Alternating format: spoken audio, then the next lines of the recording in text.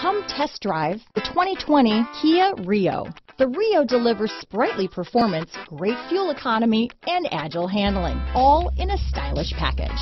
This vehicle has less than 100 miles. Here are some of this vehicle's great options traction control, dual airbags, power steering, electronic stability control, power windows, trip computer, rear window defroster, remote keyless entry, panic alarm, cargo mat, cargo net, brake assist, tachometer, overhead console, cloth seat trim, front bucket seats, front reading lamps, tilt steering wheel, driver vanity mirror. Come take a test drive today.